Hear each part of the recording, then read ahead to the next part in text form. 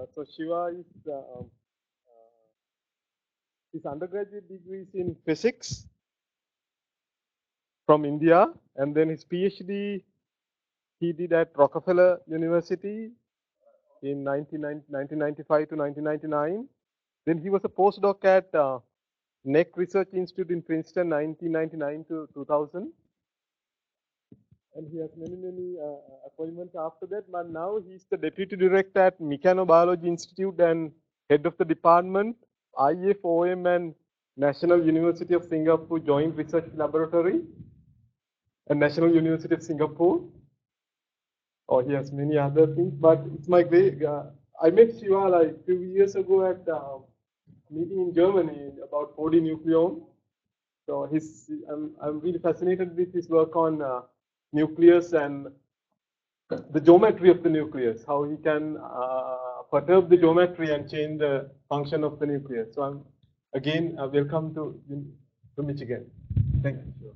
Yeah, you can keep that. Okay, while it gets started, let's uh, let me thank Indika for having me here. It's been a great day. Uh, as and when it starts. I never came to Michigan, so this is one excuse for me to come to Michigan. Uh, yeah, that's all right. I was actually worried that uh, the flight, I missed the flight yesterday because there were many flights delayed from LA coming to Michigan. Okay, great. So what I'm going to do today is, uh, I hope I'm not in the wrong place uh, because I'm an experimentalist, uh, I'm a biologist thinking about the nucleus. But what I can actually show you as we go on is that somehow this uh, thinking about it uh, links up to a lot of uh, bioinformatics, a lot of computational biology, a lot of information theory, and so on and so forth. So my lab looks at uh, how the nucleus is organized, the mechanical environment of the nucleus, and how maybe that could be precursor for reprogramming the genome. As Indika said, I'm at the Mechanobiology Institute. It's a new institute that we have set up and I'm also part of this uh, Cancer Foundation. So one of the reasons why we got interested in this was to revisit a question that all of us are very familiar with, uh, which is that if you look at the cells in your body, uh, their stiffness is very different depending on which tissue you look at. Uh, if you're in a brain tissue, it's a very soft tissue, whereas muscle tissues are much more stiffer and the bone tissue is uh, the stiffest in the, in the body. So as cells from stem cells, as you start differentiating, cells have to adapt to this extracellular matrix environment. Not only adapt, but they need to sculpt it. They need to create that extracellular matrix so that they actually form the tissue architecture. And for a long time, one had forgotten that uh, the stiffness of tissues matter. But what I'm going to show you is that it matters the the, for every, every regulatory step that have to, cells have to carry out. Uh, so for example, in diseases, the stiffness of these cells change dramatically. So this was realized long time ago.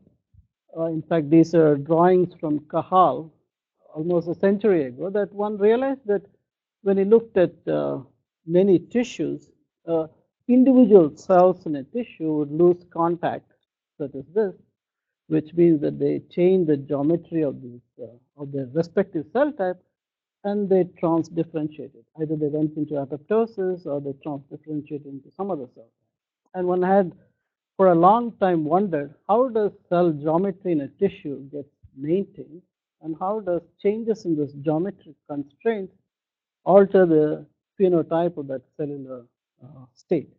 So we wondered that perhaps thinking about it, uh, if I want to transition cells into different epigenetic states, uh, it must require both this matrix and soluble biochemical signal that cells see, and that as a consequence will lead to very uh, precise genome regulatory programs.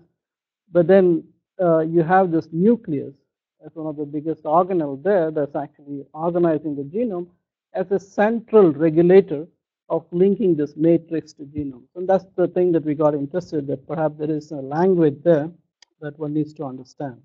Uh, the language I'm going to talk about is the fact that, as all of you know, uh, cells have multi-dimensional biochemical circuits uh, to regulate genomes, and cells are actually, as I said, very mechanical. Uh, they, they really have a physical architecture.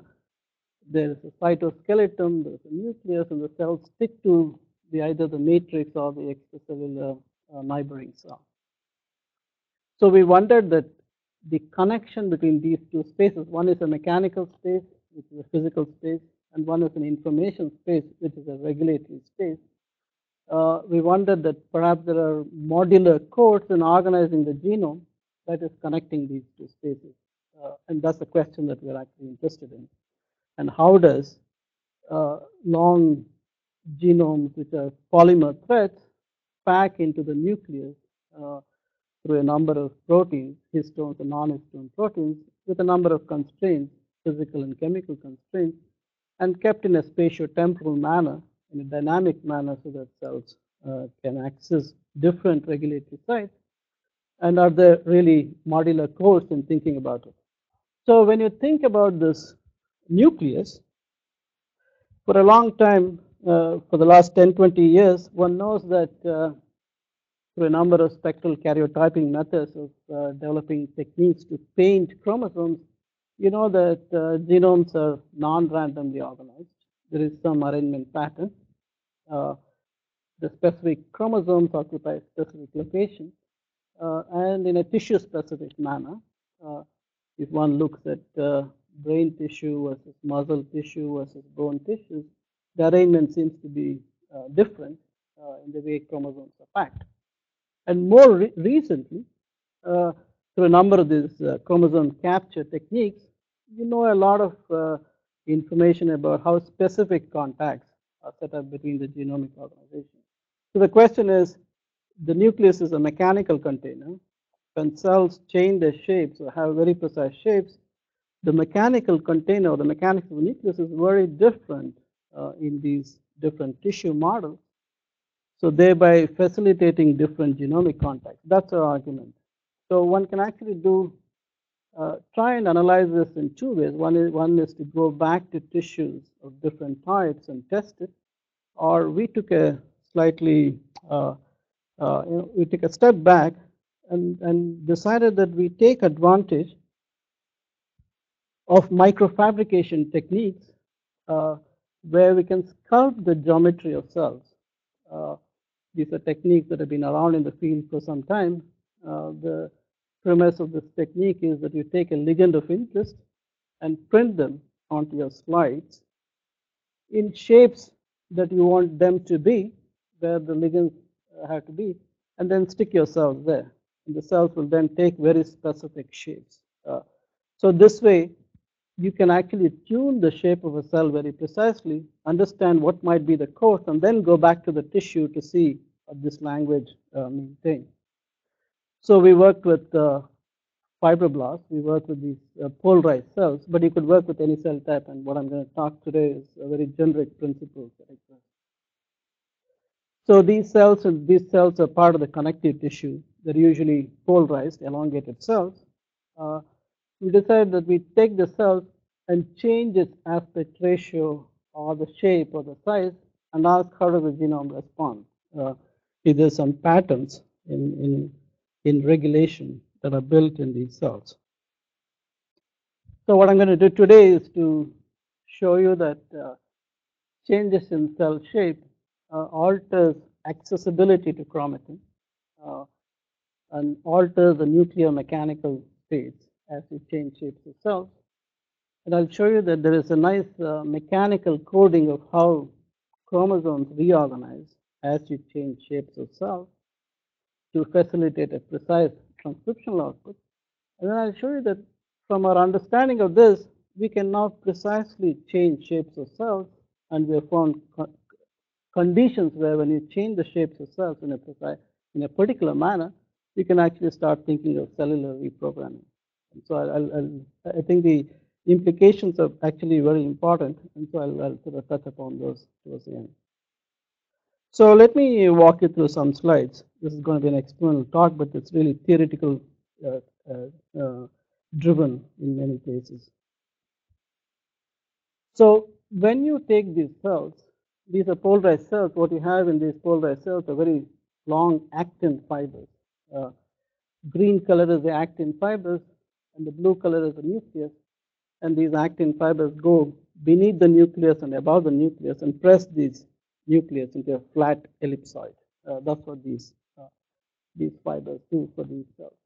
Now, as you change the shape of the same cell, all I'm doing is taking it from a more elongated shape to a more squarish looking shape. You completely remodel this actin uh, biochemically so that this actin, which is in the stress fiber form, becomes completely relaxed, very punctated, and that results in modulating the nuclear shape, size, and volume. Uh, the nucleus, which is very flattened uh, because of these fibers, now changes in shape, the nucleus bulges out. So you can already see that if I have a nucleus which is flat and the chromatin is organized and I change the shape of the nucleus, I can already form new contacts within the nucleus for the way I organize chromosomes. So as a consequence of this, what you find is that the dynamic states of the nucleus alter. Uh, is the same nucleus, you do a time-lapse imaging of this container, which is the nucleus, which is very stable, and now you alter the shape of the nucleus or remodel the actin fibers by pharmacological inhibitors, the nucleus becomes highly dynamic and plastic. It's the same, it's the same cell. Uh, so I, we can actually take back these cells and plate it back, uh, and they they become completely stiff like this. So it's a very nice transition that cells, based on the shape, uh, can actually regulate the dynamic nature of the nuclear nuclear container. And these are typical kymographs for that. And this is a typical readout of the nuclear area. If you plot the area, projected area as a function of time, it's uh, not fluctuating that much, very stable. The moment you reorganize the actin structure, uh, your large fluctuations in the nuclear uh, nuclear area, and then if you inhibit some of the motors that drive these uh, forces from the cytoskeleton, such as the myosin motors, you completely stabilize stabilize this nucleus, suggesting that there's a cytoskeletal actomyosin basis for controlling the nuclear dynamics.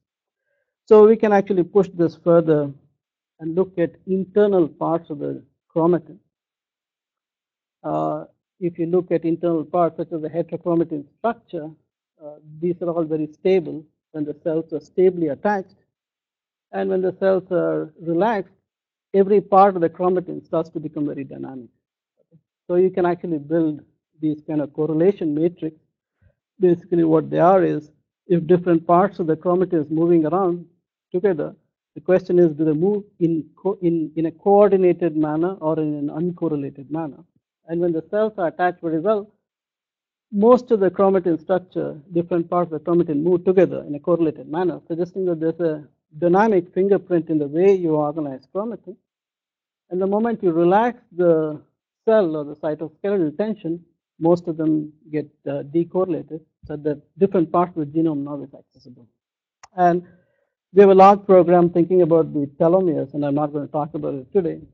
Uh, I'll just play this movie, and what you will see is that uh, different parts of the uh, every little dot is a telomere, which is the end of the chromosome. Uh, we can analyze every part of it in, in live cell imaging and track them and track the dynamics as the cell relaxes or as the cell stabilizes. And there's a there's a large chain that you see in different uh, parts of the telomeres that as you relax these cells into different shapes, their dynamics uh, is altered quite a bit. Not only the telomeres, we can now, using a number of imaging methods, uh, this is a direct map of chromatin structure in living cells, uh, where we use uh, the histones that pack the genome, and we label the histones and use polarization imaging. Uh, basically, the histones are tightly bound, they will rotate less. If they're loosely bound, they'll tumble more. And you can build microscopic live cell images of such uh, nuclei. And what you find is that when the when the cells are attached well, most parts of the chromatin is actually stably, uh, stably compacted, but as the cells detach, they become highly fluidic. Uh, different parts become highly fluidic, and you can plot what is called a spatial density correlation function, uh, measuring the length scale over which they are coupled with each other uh, within the nucleus. And uh, as a consequence of this, what you find is that uh, that the matrix contact, mm, if I play this movie once more, with a live cell movie of the changes in the chromatin compaction states. And what you find is that uh, there is an elaborate, uh, what we now found is uh, this elaborate actomyosin formin link, with a proteinaceous link within the cytoplasm that regulates how the nuclear shape and dynamics is set up in, in living cells and how the cells attach to the neighboring cell or the matrix dictates how internal parts of the chromatin is actually kept, uh, either in a loose or a, or a compacted manner. This paper, yeah. No, formin is not the protein. I'll come to that actually. Mm-hmm. Is the red the heterochromatin and the blue the euchromatin? Yeah, yeah. Because what the what this polarization imaging that we have set up is more condensed parts with the more heterochromatic structures are warmer in colors because the proteins tumble less there, and in euchromatin regions they tumble more. So the imaging goes uh, this method to directly visualize chromatin compaction space. Yeah. And so based on this, uh, uh, as you rightly asked, there must be proteinaceous links connecting up to the up to the nucleus. Uh, there's a number of molecules now identified in the literature, and we, I'll show you our work. The idea is that from the cytoskeletal filaments such as actin and microtubules and intermediate filaments that exist in the cytoplasm, there are bridges that connect through the nuclear membrane to the chromatin. And we ran a RNAi screen, basically a screen to delete different proteins, and ask which protein, when you delete, alters the shape and size of the nucleus and the dynamics of chromatin. And so we have now a number of interesting molecules that connect from the site of cellular attachment to the matrix uh, to the point where chromatin is actually anchored. And I'm not going to go into the details of these uh, proteins. Suffice it to say that these are techniques of uh, asking are the histones tightly bound to the DNA or loosely bound. You do a fluorescence recovery after photobleaching experiment. In control cells, these histones are tightly bound. When you bleed, they don't recover back. But when you genetically ablate many of these links from the extracellular matrix to the nuclear membrane, the core histones uh, are dynamically turning over on the chromatin. Uh, we have now recently shown that not only the core histones, but even the DNA repair proteins, a number of nuclear proteins, are very sensitive to how mechanical constraints of cells uh, are set up in tissue context. So what I've told you so far is uh, the cells are mechanical architectures and the nucleus is held by all these links. I didn't go into the details of it. And suggesting that the nucleus in living cells are held under tension. I mean, that's a major take home point. Uh, and when you relax the tension by cell geometry constraints, the nucleus gets relaxed, becomes highly dynamic. The question is, does this got to do with uh, anything to do with genome regulation? So what we decided to do was uh, take transcriptome of each shape in the same cell. All we have done is change the shape of the cell by this microfabricated pattern and take the transcriptome map. And what you find is that there is a nice map between linking shapes, geometry, and linking the information space of cells.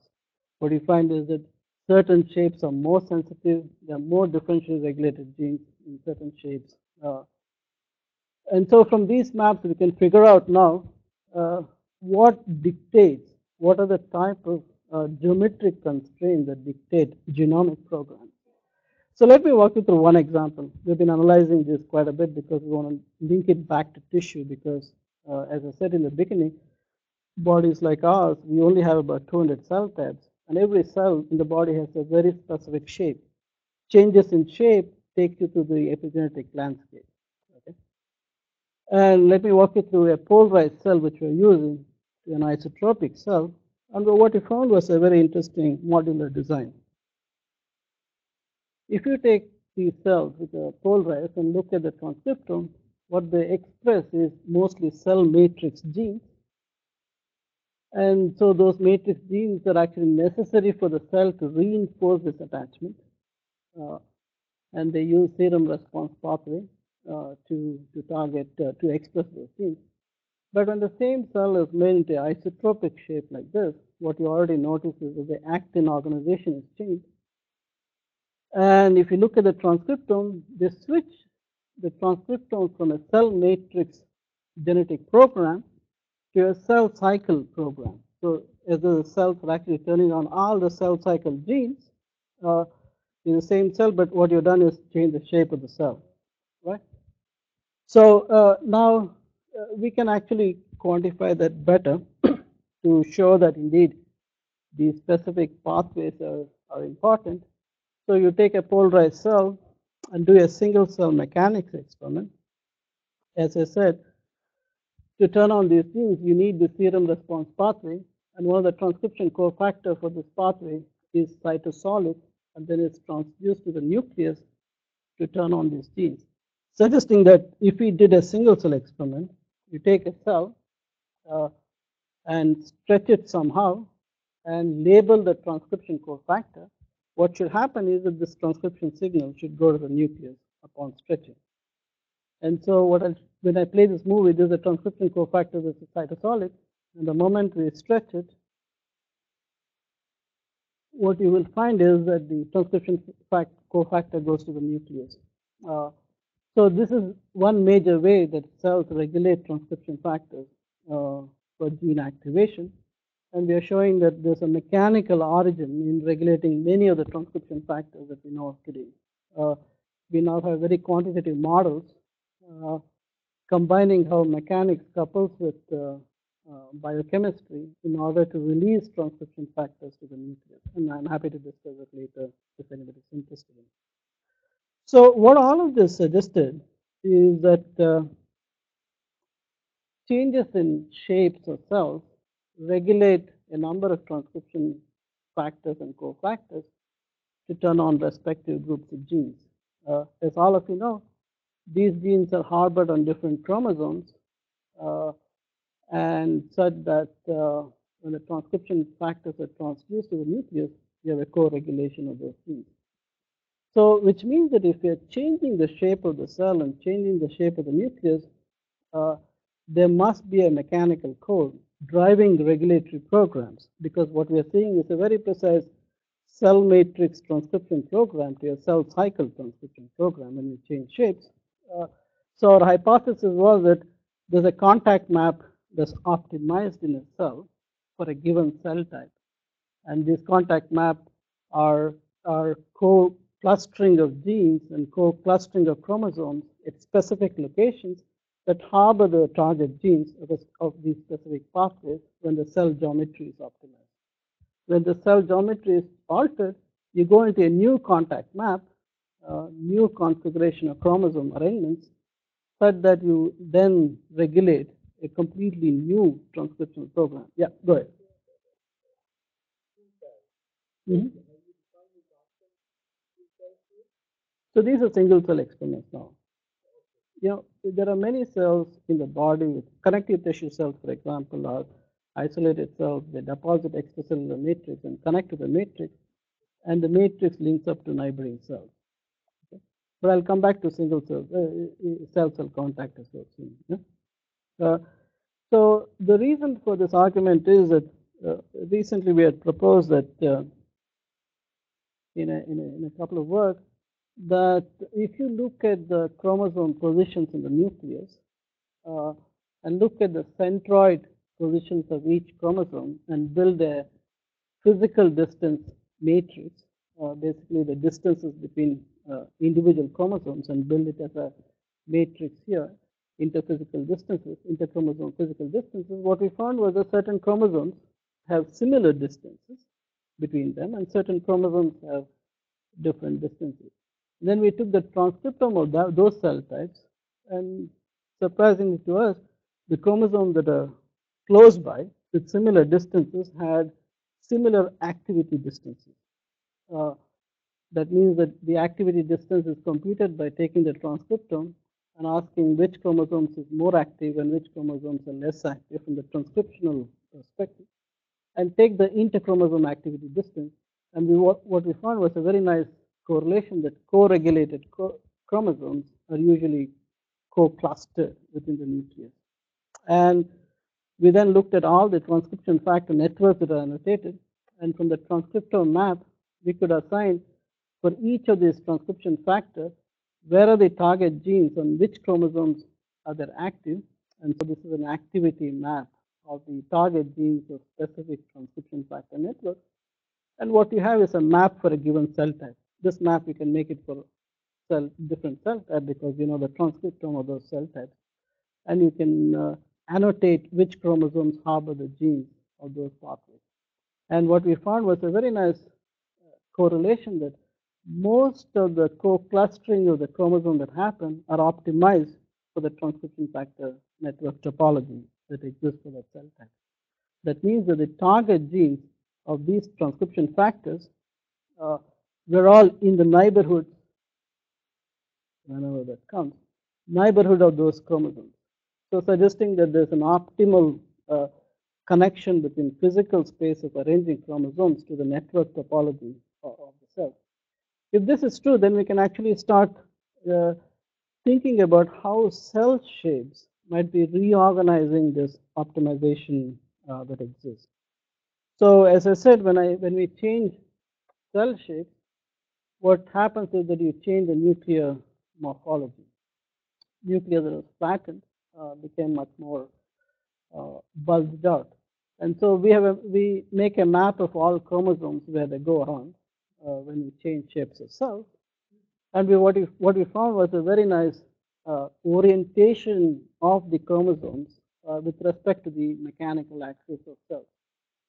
So if you looked at uh, individual chromosomes and plot along the mechanical axis what angles they make, what we found was that when the cells are very stretched, chromosomes align with the stretching axis, uh, specific chromosome. And when the when the cell nucleus is altered into cell shape is altered into a new shape and a new mechanical axis for the nucleus, then all the chromosomes that are aligned in the x-axis began to align along the z-axis, the new mechanical axis of. So this is the distribution of that. What you find is that when the cells are very polarized, certain chromosomes align with respect to the mechanical axis, and when the cells are uh, relaxed, the certain other chromosomes align with the new mechanical axis. So that means that by changing shapes of cells, you're able to rearrange chromosomes. Uh, not only rearrange, you can actually rearrange the mechanical axis of the chromosomes, where they point.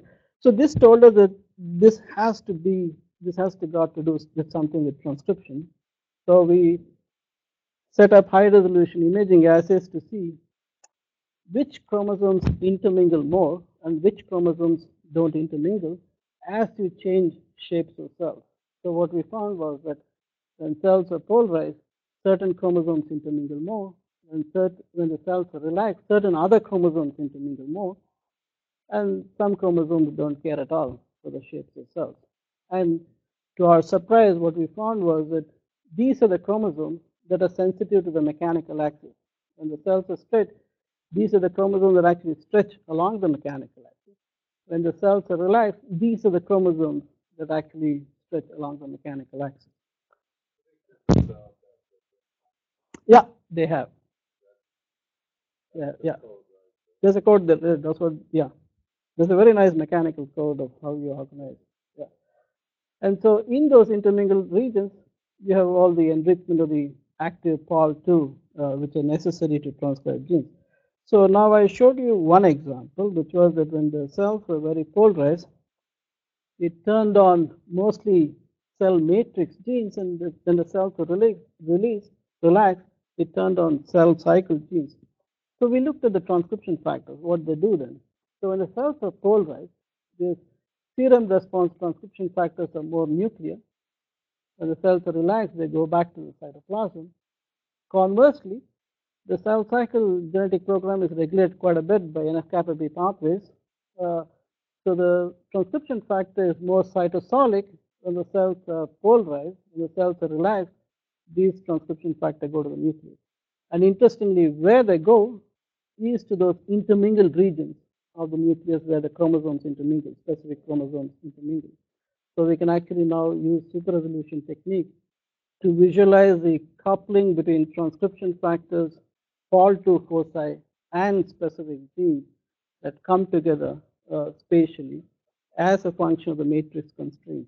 And as you change matrix constraint, you can actually rewire uh, different parts of the genome coming close or coming far away. Uh, so based on this, we have now set up a new technique uh, to be able to look at those co-clustering directly. You know, one of the major technique in the field right now is to do this chromosome capture, Hi-C technique that many of you use now. Uh, one of the interest is a very powerful technique, but it's a, it averages out conformations across the population. So we wanted to test at single cell resolution, what are those contacts that you're making? And uh, so as we change shapes of cells, we can, on the microfabricated patterns, we can open out the nucleus after cross-linking and look at which genes have come close with respect to these transcription factors. Because we know the transcription factors that are important from the transcriptome. And uh, interestingly for us, when the cells are more polarized, these gene clusters, this is super resolution imaging of the co-clustering of the genes, the green color of the genes. Uh, what you find is they co-cluster and they are decorated with the transcription factors of the serum pathway. But when the cells are relaxed, these clusters are now decorated with the uh, NF-kappa B pathway. So that means that changes in shapes of cells have now rewired different parts of the chromosomes, but also rewired different specific groups of genes that have come close or far away uh, that, that we can directly image now. Uh, so now we have a large uh, program now to understand how matrix constraints alter this chromosome rewiring, chromosome uh, reorganization. With a mathematician and statistician at MIT, Caroline Uhler, we have a large program in thinking about how to pack chromosomes uh, within the nucleus and how this packing can be optimized based, based on the transcriptional program and how when we change shapes of cells, how does the packing rewire in terms of the chromosome position and as a consequence, how do they rewire the genetic uh, uh, interaction? And I'm happy to talk about this. There's a lot of new data that I'm skipping now. Uh, so until now, what I said was that changes in shapes of cells really alter the transcriptional property.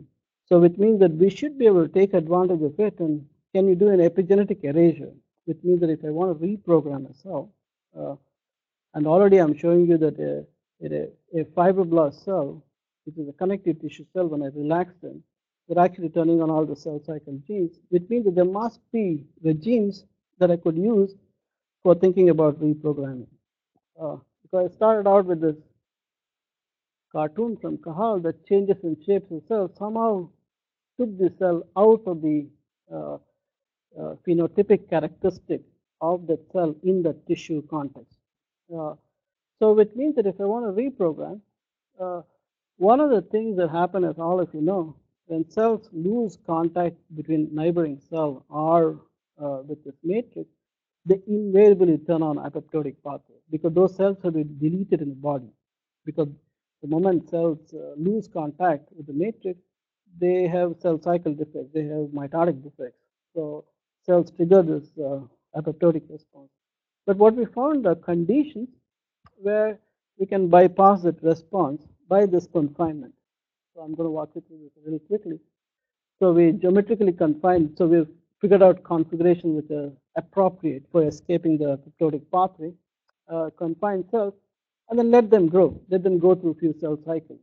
Uh, and what you find is they start becoming colonies because they can't attach elsewhere because the way we prepare this microfabricated patterns are each cells are uh, assemble on the island and they can't attach to neighboring places, so they start forming colonies.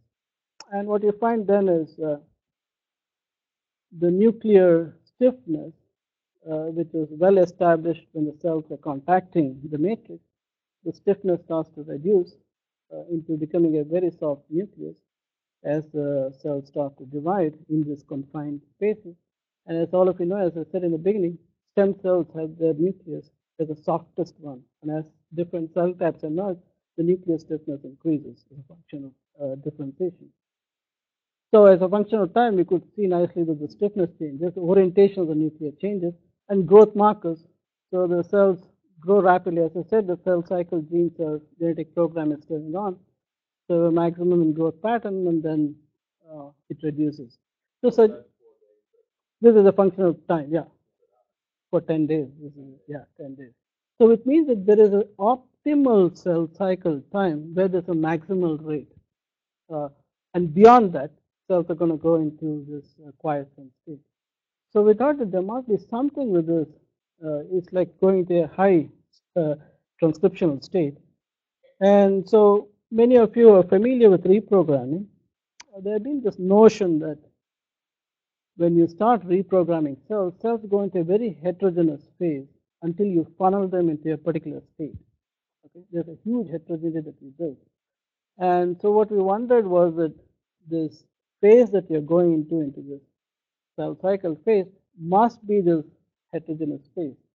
So as cells uh, start to divide, what you find is that the that the nucleus is becoming softer because they lose this nuclear structural proteins, which is lamins, and they're acquiring a number of epigenetic post-translational modifications. Uh, we map a number of them, and I'm not going to go through all the details. And then they start rewiring the heterochromatin organization as a function of time. So we wondered, and then we asked what might be the genetic markers. They throw out all kinds of uh, markers. You start with a mesenchymal cell, the connective tissue is mesenchymal in origin. Uh, you lose the mesenchymal markers, these are transcription factor markers, but you upregulate most of the uh, stem cell markers, uh, most of the cell-cell junction markers, and so on and so forth. So this to us suggested that maybe as you reduce matrix constraints, find the optimal configuration for them to divide rapidly, they're actually going into this heterogeneous phase of turning on all kinds of uh, transcriptional programs, including the stem cell programs.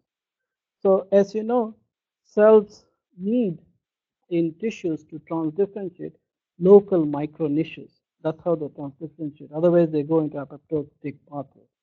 So we decided that if these are mesenchymal cells, at the optimal cell cycle time, if you provide a niche like a epithelial niche, can we take the cells and transdifferentiate them uh, without anything? We are only using confinement as a precursor. And so when we provide this uh, uh, micro niche, which is uh, a microfabricated uh, plate that comes to these uh, pattern cells which are growing, you immediately transition into an epithelial sheet. So what you have started out is, an, is a mesenchymal cell, and you confine them and you started dividing, so you have an epigenetic erasure of the uh, mesenchymal phenotype. Uh, they forgot that they were mesenchymal cells, they were turning on all kinds of genes. The moment you created a niche, uh, like an epithelial niche, they became an epithelial sheet. Uh, so now we know how to transition them into different types. Uh, so just trying to give you an example that we can actually go from a fibroblast to an epithelial-like sheet and we can confine them further so that you can actually make epithelial niches starting out from a mesenchymal marker, mesenchymal cell type. And so what we do is we look at uh, promoters and which genes are actually loaded with transcription factors. These are promoter occupancy assays. What we nicely see is that you start out with a mesenchymal cell, and as a function of time, you start losing the mesenchymal markers but you start acquiring a number of epithelial uh, genes, genetic markers, and a number of uh, proliferating genes as a function of uh, time. Mm. So, uh, what I've said so far is that shapes of cells are very critical for regulating how the nucleus is organized and how the chromatin uh, accessibility is kept. And alterations in the geometry of cells uh, alters its accessibility to chromatin. I showed you that uh, chromosomes can be reorganized very precisely to bring about specific genetic programs as you change shapes of cells. And there are very uh, uh, you know, interesting regimes of confinement, geometrical confinement, shape confinement that you can actually impose on cells so that you can actually exit from their uh, from their epigenetic memory state, and you can actually have an epigenetic erasure uh, and transition them by mechanical constraints. So we think that it has very important implications. Mm. What we have discussed today is that uh, for us are devices and there are modular codes in how you assemble parts of the cell. And the important parts for us is that the relative organization of chromosomes uh, with respect to each other are optimized for the transcription factor topology of the network, such that uh, for a given cell type, there is a co-clustering of chromosomal contexts uh, in which you harbor the specific uh, target gene of that cell type.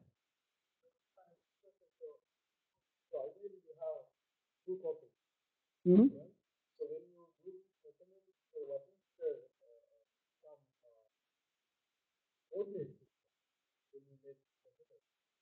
Yeah, so you know what, what we find is a good important question. What we find is that, as you know, only one allele is expressed in a given thing.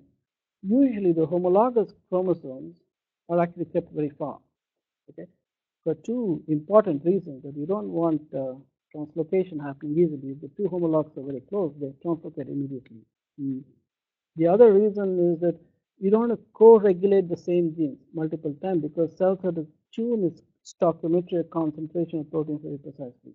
Okay, so we start with the center of the nucleus and map out all the where, where each of the points are within the system. Right? And uh, and so when cells receive a signal, they turn on specific transcription factors to feed onto this. But what was missed in this whole argument was the mechanical links to the nucleus what you have is an elaborate uh, mechanical link through proteinaceous scaffold that connects the nucleus. In fact, importantly, they even sculpt the nucleus shape, volume, size, and so on and so forth, such that when cells see an extracellular signal, what they either from a neighboring cell or from the matrix, they not only turn on the transcription factor pathway, but they also remodel the cytoskeleton. I showed you one example, there's the same cell in a polarized geometry or an isotropic geometry. Actin fibers are going along the length of the cell, whereas actin is actually going in the in the you know in a spherical in a circular pattern. And that changes in the cytoskeletal link can modulate the container size, you know, modulate genomic context, which is what we're now showing very elaborately. And cells keep a very precise feedback based on the input signal. What you have is the genetic feedback is optimized for the input.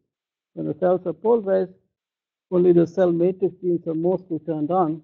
Uh, as all of you know, cells in the body don't change their transcription too much because once you differentiate them, the only thing they have to do is to remember what transcription they have and remember to cell cycle, uh, you know, cell, cell division. Only when you have an infection or when you have a wound or when you have a pathogen of different kinds, you alter transcriptional programs dramatically. And so, in a way, cells feedback the genetic space into this mechanical space such that uh, when you change mechanical space, what you get out is a very precise genetic program through this rewiring.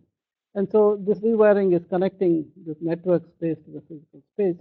And in order to understand this further, we have this elaborate packing models of chromosomes at different scales, at the scale of uh, uh, small domains, at the scales of chromosomes, uh, at the scales of uh, nucleus. I'm happy to discuss those. Uh, these are very interesting models uh, to think about. And so the implications are, we find this intriguing because now we are mapping all this to tissue environment now because we now have a good handle on how to think about cell shapes and how they link up to transcriptional uh, landscape. So clearly, if you look at these connective tissue cells in the body, and all of us, uh, what they go through is they remain quiescent most of the time, but they get activated during this wound healing of pathogen and so on and so forth, and they have to become quiescent. So what I've shown you is we could take the, these fibroblast cells into these faces, shapes, and we can show which programs turn on, which transcriptional programs don't turn on. And we can already now see when which state of the cell we can trans-differentiate them. There's a lot of mesenchymal to epithelial transcription that happens in the body. This is very critical for developmental programs. Uh, so based on cell geometry and tissue tension and soluble signals, one can now start to build a map of how nuclear reprogramming events happen in the context of this functional uh, event. And we also have a uh, single cell diagnostic platform now because we have a very good readout on what changes in the nucleus at all scales. And that would be a very good readout of uh, pathogenesis.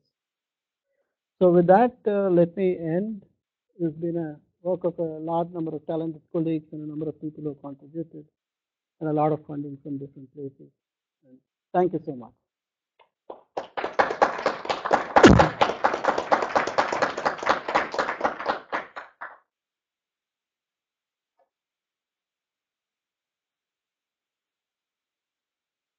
Okay. Oh, sorry, I didn't know what. Yeah, I'm so close. Well, anyway, it's very fascinating, you know, uh, it's a function of the shape. Mhm. Um, I was uh, wondering, uh, what's the driving force for the clustering? And also the effect of orientation there? And uh, also the stress, yeah, how much the stress? Yeah, so I was just talking to you know uh, Jerry and uh, Brian and others before. So what you find is that because there are linkages from the cells where they contact to the matrix through actin and actin-related proteins to the nuclear membrane, and from the nuclear membrane to chromatin, uh, there are physical bridges. We and others have identified a number of important molecules for that physical bridging. So now we can see that if I stretch this room, uh, if we are mechanically connected, we get stretched. Right? And what we find is that not all chromosomes are stretched, as I'm showing you. Right, Uh, are only specific chromosomes that are necessary for that cell Right. type, where the genes are harbored there for the transcription topology of that cell type. Those are the chromosomes that actually stretch. right, Okay. And now those chromosomes that stretch, uh, they intermingle with neighboring chromosomes where you have co-clustering of genes. yeah, And the, The question- mechanism for co-clustering Yeah. is that you need a signal, you need a biochemical signal there. What I've done with the mechanical space right, is reorganize all this architecture. But now in those spaces are the places where genes reside. And to activate the genes, as I showed you, you need specific transcription pathways. Uh, let's say serum response pathway for turning on actin-related genes. And serum response transcription factors are localized in those regions. I showed you the super resolution imaging of the localization of these transcription factors. So you can imagine that if I want to partner a group of people, I can partner them around around someone. Okay, and that someone is a transcription factor which will co-share multiple genes. Okay. Likewise, when I change the mechanical state of the cell and I form a new mechanical axis for the cell and the nucleus, there are certain other chromosomes that align with this new axis. And those are the chromosomes that have harbor all the target genes of cell cycle genes. And so for that, you need this NF kappa B transcription factors to stitch together, co-cluster the genes, uh, and we can then open out and visualize them. And now those clusters that we visualize, we can now begin to sequence them. So we can actually have a single cell uh, sequencing of specific regions, direct maps of that again. yeah. So, as I understand it, uh, from a physical point of view, Mhm. they seem to cluster together. Is there yeah. any uh, basis for that from a nucleation and growth? Uh, more than nucleation, what I would say is that uh, those places have very specific epigenetic modifications because you need to turn on regulatory, you need to bring a lot of chromatin remodeling enzymes, the RNA pol2 and the transcription factors which regulate all of them, which recruit all of them. So It's like gluing a group of uh, parts of genomes, and that for the gluing you need this epigenetic marks. Uh, you need this post-translation modification.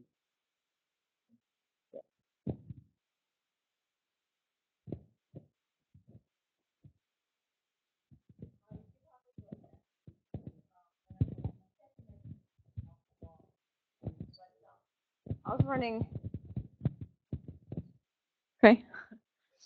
I was wondering, is, is it possible or can you envision a way to like use a mechanical change in the tissue as a way to force uh, something like a trans di- differentiation of the cells as kind of a are- treatment for a disease? Yeah, yeah, like which is what we are arguing. You know, the, the reason why Cancer Foundation is funding my lab now, they heard me two years ago in Italy, and then they thought that this has got to do with cancer.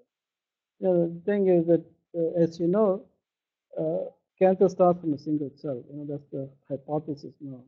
Our idea is that a single cell under mechanical constrained condition can actually transform. And what I showed you evidence is that if I just purify the cell in culture, I change the mechanical tension. What I change is the plasticity of the chromatin.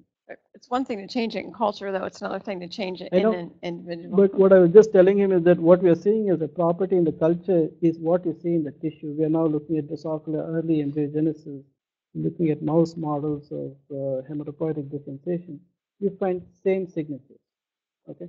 And connective tissue cells and every cells, uh, when you create the right microenvironment, that's the microenvironment that, you know, the idea is to create as much as possible the microenvironment that exists in tissue context uh, it's easy for us to go and say some qualitative things in the tissue, but now we have good signatures what to pick up there in the tissue context. So that's what we're now trying to do, to really show that mesenchymal to epithelial transitions like this are precursors in the tissue models for acquiring uh, changes in uh, uh, you know, mutations on the DNA and specific uh, changes in the genomic uh, sequence. I don't know the answer at the moment. So, Yeah, very but th- interesting. That's thing. the direction we are going, and that's the direction we want to go, and that's why we have prepared ourselves to go there. So maybe I can follow up on that a little bit and ask you, obviously, you started out with the differences in tissue properties, and yet all of these studies are in cultured cells, which is a very different mechanical environment.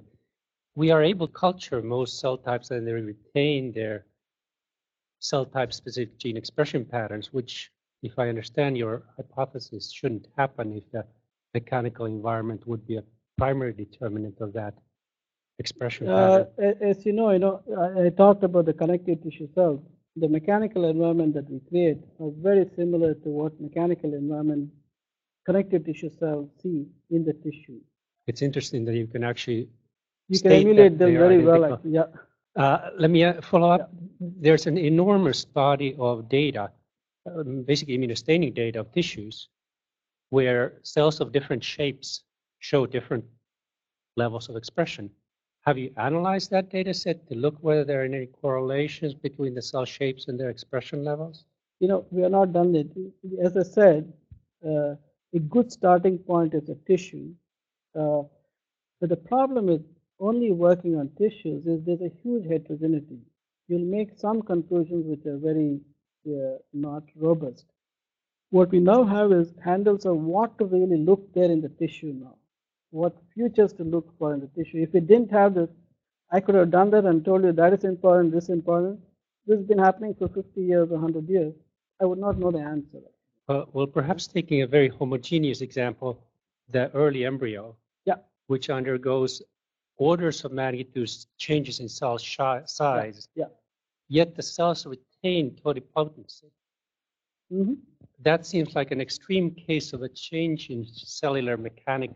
Yeah, no, but you know, as, as you know, let's say, let's take the example of Drosophila in embryogenesis, right?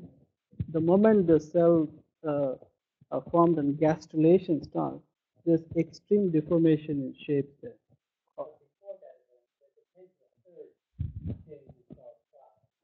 Uh, cell size changes. You know, the, the important thing is, let's suppose what we are saying is, if we keep the same neighborhoods, you know, people argued that absolute positions of the chromosomes are important. Okay, but what we are saying is that what is most important is the relative positions of chromosomes. Let's suppose that I can take the cell, I can change isotropically that cell into a larger or a small. I'm not going to change the neighbor, neighbors with the, with the isotropic tension. This is what we have shown in a separate work that we take the same cell, same shape, but apply isotropic tension or relaxation. That's very different between anisotropic tension and relaxation. Okay, that's important. When I apply anisotropic tension, what I do is change relative stresses. When I do isotropic tension or contraction, it's imagine I shrink the room, then all of us are going to be same neighbors, or I expand the room isotropically. It's a lot more crowded, lot more crowded. But then if I change the anisotropy of this, I can then reorganize. Okay, that's that's a critical point actually. So I have a question. So how you Yeah, although I don't know the answers to all the in vivo systems, okay? So- It might be more complicated than I'm, what I'm saying. so how you can uh, uh, see all the chromosomes simultaneously in but in, in using Sky? No, I didn't tell you, You are not seeing the whole. we're not seeing simultaneously, we build maps Okay, these are of four pairs, we, we can now see four, and now we have a technique uh, which hopefully we should be able to see many more simultaneously. Yeah, techniques. Thomas has techniques. Mm, We have slightly variant technique of that. But yeah, things like aging. Yeah. like there's aging as well as say obesity, Mhm. and that is a result of changing our cell. Mhm. So that means that uh, how, how that related to again aging and obesity. Yeah. To me, that I know. change the shape of the cell. So that is a result of changing function. You know, one of the things that happen in aging, as some of you might know very well, is that the lamin AC concentration reduces as the, as the cell cycle progresses. And the lamin AC concentration is critical for stiffness of the nucleus. Uh, Dennis Discher recently showed a very nice scaling of lamin AC levels across tissues. And as you age, as the lamin AC concentration goes down, the nucleus becomes highly plastic. This is now known. Uh, what I don't know is how to link this to aging, uh, and uh, or to her question or his question. Uh, give us a few years and we'll come back and then tell you are the in vitro signatures how how much is it? But you know, it's a very generic design. I'm talking to you in terms of chromosome organization and how mechanics alter chromosome organization. So just a quick follow-up to that and a question. So the follow-up is that um, um, Hutchinson-Gilford progeria syndrome is uh, mutations in, in lamin Yeah. A, right? And these are the, the kids that age uh, incredibly, right? So, so there's a direct genetic link. There's too. a direct, you know, for progeria, you know, you can actually mimic uh, that by progerin. You know, Yep, exactly. So, so that, but I, I had a question though. So, so um, this this me- mechanotransduction of transcription factor activation is is is something I haven't thought a lot about before, but um, have recently come into um, um, touch with uh, because of skeletal muscle biology, and, and and and so these cells respond to physical exercise, and they they process glucose differently because of that mechanical Yeah. stress, clearly, right? But also they respond to chemical signals like insulin signaling. So have have you thought much about um, what are kind of the evolutionary trade-offs of mechanical versus chemical signaling, and, Yeah, and why yeah. cells might adopt one of those Mhm. strategies? No, actually, another? no. So don't get me wrong. You know, when I say mechanical, it's a mechanochemical signaling, because what you have is, in order to transduce signals from the cytoplasm to the nucleus, let's say transcription cofactors like more of major pathways, they're using the mechanical state of the cytoskeleton. If the actin is very polymerized, then uh, transcription cofactors or serum response pathway are in the cytoplasm because they're, they're, they're, they're in the nucleus because these transcription factors are bound to G-actin. And when the cells uh, sequester with mechanical tension, you favor F-actin state, which is a stress fiber form. And for that, you need G-actin releasing these transcription factors to the nucleus. Whereas alternative, conversely, pathways like NF-kappa B actually are sequestered on the actin stress fibers as an anchor to be in the cytoplasm. And changes in the actin tension then releases them to the nucleus. So in fact, what I'm saying is there is a mechanochemical signaling. And but the other major project that we have, which I didn't talk about today, is, you know, for the same cytokines in the body, the same cells uh, elicit very different genetic responses. And so we wondered why is it the case? So we took uh, in vitro systems like this, put cells in different mechanical states and added the same cytokine. What we find is a very nice transition in the genetic program depending on the mechanical states of cells for the same cytokine, like TGF-beta, TNF alpha, and so on and so forth. So perception of the extracellular chemical signal is very dependent on the mechanical state cells. Okay, Thank you so much for the wonderful talk. thank you all for coming. And this, uh, you know, the in vivo things are always good. We built an institute to think about it as well.